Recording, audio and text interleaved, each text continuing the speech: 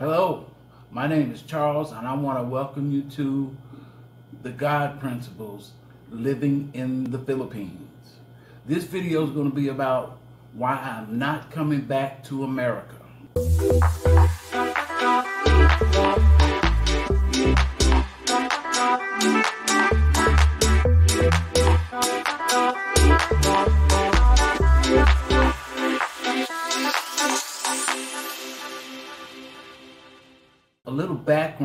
Is necessary. I'm an IT engineer in digital marketing. Back in the 80s, I was working for a corporation.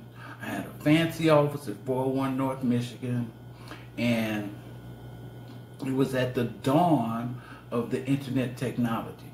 What happened is, is that we were implementing technology in the corporate world my cube mate was sent down to a plant to install some computer technology.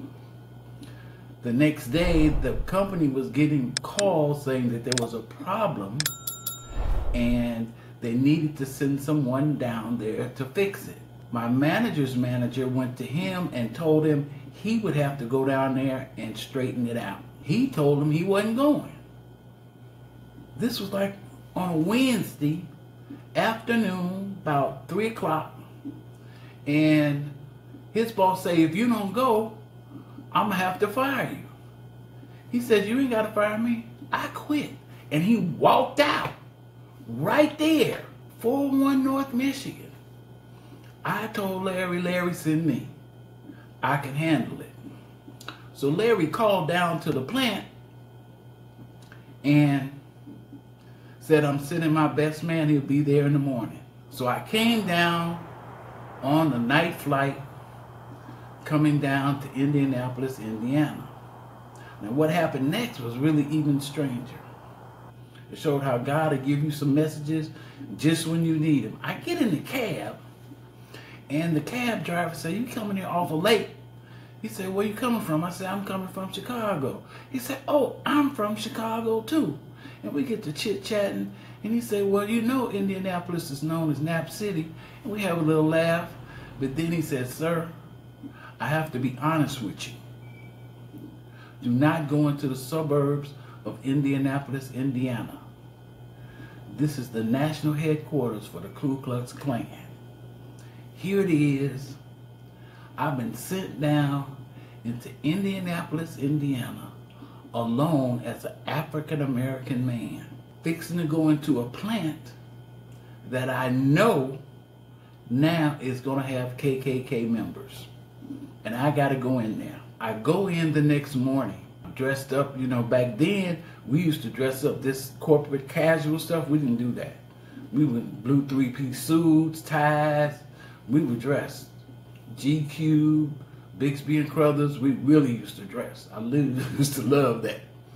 But I go in, I sign in, and I get on the elevator. And they challenge me on the elevator. It's a true story. I get on the elevator and this girl walks and say, can I see your badge? I say, what you need to see my badge for? She said, I've never seen you before. I said, have you seen anybody else on this elevator? She said, no. I said, well, get their badges too, because I'm not giving you mine. As a matter of fact, you go tell your supervisors that you did this. I really just stood up for myself. And so I go to see the plant manager, and he explains to me that the reason for it was they had had some thefts in the office. And I say, okay, fine. I blow that off. But now, this white man has to give me a plant tour of a plant of African American men and women and white men, some of whom are KKK members. And a white man has to give me the respect and full treatment that they've never seen before. It was a very, very inspiring moment for me. And so he took me through the plant, showed me around. I tried to speak to some African Americans, but we couldn't because this stuff moving all over your head and stuff. But you know how we do. We nod and acknowledge each other. Then I have to go back and straighten out this problem in this department. Now realize they don't know I'm an African American coming. And to make it even worse, the guy that was installing the system, he was an African American. He was six foot tall. He was dark as night, and he was gay. And he back there with them people.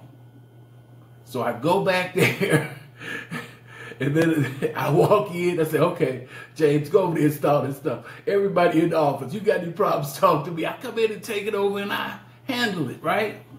And so what happens after that is, after we leave, we go out for drinks. I'm sitting up drinking. It's on my mind. What's gonna happen now? Because we we're in the main city for the national headquarters for the Ku Klux Klan. We don't know what's gonna happen. I'm sitting there drinking, saying, "Okay, God, this is your thing. You didn't send me here, and I just had to go with it. I didn't know what was gonna happen. I really didn't." We left the next day, and when I got back to Chicago, I went and talked to my dad. I told him what happened. I said he didn't teach me to back down. I, that's just not my personality. It's just not. I've been like that since I was a child, but that's another story. But the main point is the reason I'm not going back to America is because African American men don't have any hope. We've been so been so downtrodden throughout time that we don't have the self-esteem, the self-worth. We don't think we could we're good enough. I ain't never had that problem personally. But without the examples to show them the way, what else are they going to do? Here in the Philippines, there are very few African Americans, and those that are here are afraid to get on YouTube. They don't want to be put out in the public like that. I don't have that problem. I did not come down here to live a secluded life. Because African American men, we need people to have leadership. And I've always done that. I've always been a leader. I've always been in technology since I was 16 before it was ever popular or anything like that. That's why I'm not leaving the Philippines or going back to America. If anything happens here, I'm just going to go to another country. I'm not going back to America. Because that, that means I would be go back defeated. And I, I'm just not me. That's just not me. So if you're looking for some assistance, some coaching on how to develop a digital lifestyle, how to transition over here to the Philippines or anywhere in the world, really, that can support a digital economy, I'm leaving a link in the description. I have a newsletter that you can sign up to for free and get free information on how to develop a business. And if you want, you can actually schedule a consultation with me. My name is Charles. This is the God Principles Living in the Philippines.